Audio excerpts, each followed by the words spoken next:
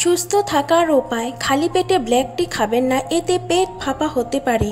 চায়ে টেনিন থাকে, এর ফলে খালি পেটে চা খেলে বমি বমি ভাব হবে।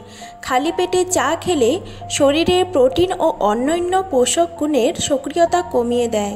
খালি পেটে চা খেলে অনেক ক্ষেত্রে আলসারের সমস্যায় পড়তে হয়।